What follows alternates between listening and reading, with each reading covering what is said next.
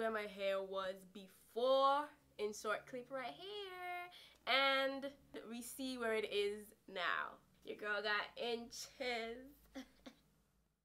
From you wake up every morning use a winner yeah. What going on guys? It's your girl Reza in the brrr, if you're new to my channel and you really want to know what goes on around hair, I post natural hair videos, fitness videos, cooking videos, workout videos, vlogs sometimes. Your girl does everything on hair. So if you want to join, come through. Come, welcome. You guys can also follow me on Instagram. I have two Instagram pages. I have my Reza Empress Instagram page and I also have my fitness Instagram page called Empress Fit so definitely check those out while you're here. Maybe it was a month or two ago i did a lent retention video on how i'll be retaining majority of my lent this year. And if you missed that video i'll always put the videos up in the cards. So make sure you check the cards too i don't know if it's this way or this way but i should know by now. It's a basic overview and rundown of what we're starting today which is my lent retention series so in this series, I'm basically going to go in depth of everything length retention or everything that you should know to make everything easier for you to understand and to implement into your routine so that you can also start growing while saving your inches. Because that's the biggest problem a lot of us have with our natural hair. Our hair is growing but the biggest issue is that we're not retaining any of the length. So I think I do pretty well with retaining length even though I do struggle sometimes y'all. I'm not gonna lie because length retention has a lot to do with how well you know your hair. And that's why I always push that you guys learn your hair know your hair know exactly what your hair needs at specific times and then figure out what works for you. Of course i can give you tips that will help you along your journey but at the end of it all you have to know what works for your hair and act accordingly. Okay i have a lot of natural hair maintenance growth retention hair care. Like i have a lot of those videos on my channel. So grab your popcorn and just go through my videos. Let's get into this video because i have been talking. The most vital information about moisture is that one of the best format that moisture comes from for our textured hair is in water. Water is not the enemy. And you guys might think differently for different textures. Of course we all know my hair texture. Well i need to do a video on how my hair texture has changed but i have very loose curls very kinky thin coarse strands and it's low porosity. I have medium density. My hair is very fine and thin but it expands if I had to show you guys one strand of my hair, you would never know that my hair is that thin. Water is not the enemy. I've dealt with textures like mine. I've dealt with textures that are very kinky. Like my mom has very kinky coarse hair. I have coarse hair and my mom's hair is even coarser than mine. And once water touches her hair, the moisture is... Oh my god! It's just full of life and soft to the touch, moisturized, fluffy, but it does not stop there. First of all, let me get this out of the way. Oil is not a moisturizer and I feel like since we're in 2019 I feel like y'all should know this by now stop only using oil in your hair and wondering why your hair is always so dry oil is more of a sealant and if you're not putting the first base which is the water on top of your hair or a product that contains if you're going to put oil in your hair your first base should not be the oil. Your first base should be a product that has water as the first ingredient or if you're gonna put oil in your hair as well the best time to do that especially if you don't want to use any other product is right after your wash shampoo or deep wash and deep condition or just deep condition. Right after you wash your hair and your hair is wet and still full of water that's the best time to apply oil. But applying oil on hair that has already been dried out is not doing you any good. Anytime you think about moisturizing your hair, just think water, water, water, water, water, water, water, water, water. I know I just annoyed you, but just think about that first before you apply an oil or before you apply any product. Our hair loves water and I feel like we've been taught that our hair hates water but our hair does not hate it. Our hair loves it. Come on develop that relationship with water because our hair loves water especially as the first form to moisturize well to thoroughly moisturize our hair. So moisturizers can come in different forms. Gels and custards, products along that line aren't meant to moisturize your hair. So if you're putting those products on dry hair especially, expect for your hair to be dry and to be very susceptible to breakage in the long run. So we need a product under those products that are moisturizing like water or you can add your leave-in, your moisturizer. We need those types of products on the gel to prevent our hair from breaking tremendously. Figure out whether your hair likes butters, leave-ins, milks, heavy sealants, hair cream. Figure out which form of products your hair loves the most and stick with it. Having moisturized hair is very important when it comes to length retention because without it, your hair is going to break off and up appear like it's not growing but your hair is just breaking off from the ends because dry hair breaks y'all ever had a bag of chips? Of course y'all ate a bag of chips. What happens when you bite into the chips? It cracks. It breaks. So imagine your hair like that. Your hair just cracking because you have no moisture. Just reference your hair to a bag of chips. Chips are dry. Chips breaks in your mouth. When your hair is dry it breaks and you'll never see the breakage. You'll just be like why my hair is at one length? Why is my hair still at chin length why is my hair still at shoulder length? Because it's breaking and you ain't even knowing oh, how often do i moisturize my hair? As i said it depends on your hair. Some people's hair can hold in moisture for up to a week.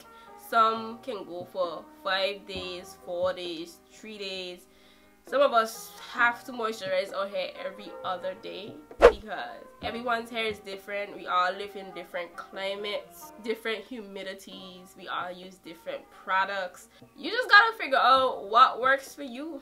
But if in one day your hair is drying out like you moisturize your hair at this minute and by the end of this video your hair is dry again something is wrong and we have to figure that out. It could be that the product that you used is not beneficial for your hair. It could be that you're not drinking enough water. What you put in your body is gonna show on the outside. Boo. Drink your water. Keep up on your water intake. That is also important as well. I drink so much water at this point. It's just second nature for me. And i know that it's not that way for a lot of people and it's important okay?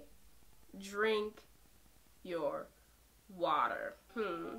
Maybe you're not eating the nutrients that you need to eat to maintain strong healthy hair. Your hair can also break from that as well.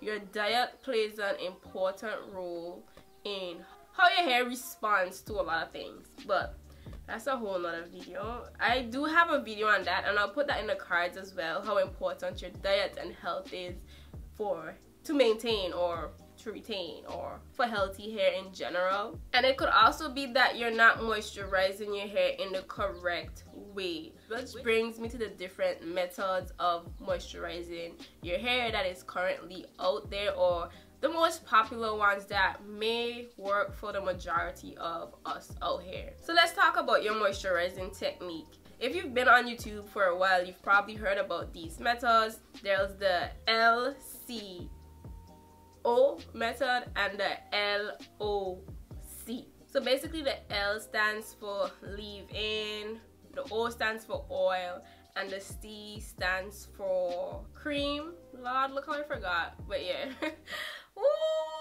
So with the LCO, you apply a leave-in first, or it can be water. The, the L can also stand for liquid. Then you'll apply an oil, and then you apply a cream, and then the LOC, liquid, water, um, oil, cream. Wait, that's what I just said.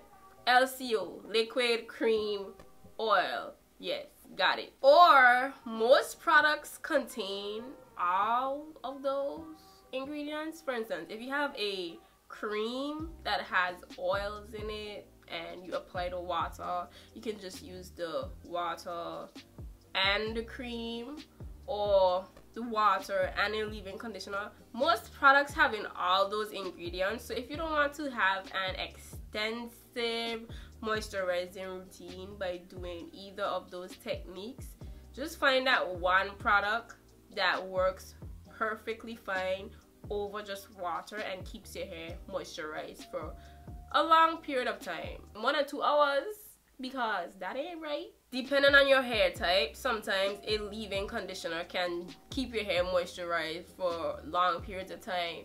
Sometimes a hair milk can keep your hair moisturized. It all depends on your hair and you figuring out what's the best type of product that your hair loves to be moisturized with. And if you can't find that miracle product, try one of those techniques and see how that works. So one of the biggest things with moisturizing your hair also is finding a product that seals in that moisture. Because if that moisture isn't sealed in correctly then it will escape. Some people like to seal in their moisture with oils. Another sealant that works really well for a lot of people that I am not against is grease a lot of people went back to using grease and I don't blame y'all honestly but grease is a little bit too greasy for me. If I'm stuck somewhere and I have to use it I'm gonna use it. Like what? If none of these Pian Pian products working for you on the market right now girl grease is right there in the supermarket 285 299 399 184 listen these the prices for grease is very reachable. I guess a lot of people are against grease because it has in dangerous ingredients and creates a lot of product buildup. But honestly, if you take precautions to wash your hair thoroughly and get rid of those ingredients off of your hair when the time comes, then I don't see an issue with it. A lot of us are still getting our nails done. Can we talk about the dangerous ingredients that surrounds the area of getting your nails done or that you put on your nails? So it's like when my hair was flourishing from grease, Dax grease, the green one, my hair was flourishing. Oh, and Indian hemp, my hair was flourishing. Find what works for you as long as you're not killing anyone in the process. But that's why I love butters and creams as a form of moisturizing my hair for longer periods of time. One thing to keep in mind is that your moisture game will have to change up depending on the season you're in. I grew up in a hot climate, like a really hot climate all year round and very humid. But when I went to school in the States, and I experienced winter for the first time, my hair suffered. Like my hair broke off and I could not like I could not get a handle of how to deal with my hair in the winter. It wasn't the easiest thing for me. So one of the things that I realized in the winter if I don't do a protective style that keeps my hair from being all out for the majority of time then I have to moisturize my hair a lot more often. Like i would have to moisturize my hair every night. Even if i have it on wash and go my hair will dry out by the next day. I had to also figure out how often i would have to moisturize my hair in the winter and what types of styles works best for me in the winter to retain and to keep my hair moisturized. And one thing to also pay in mind is that you cannot penetrate hair that's full of buildup so if you have a lot of buildup on your hair your hair is not going to take in that much moisture or you'll realize that your hair is getting dry really quickly no matter how much you moisturize.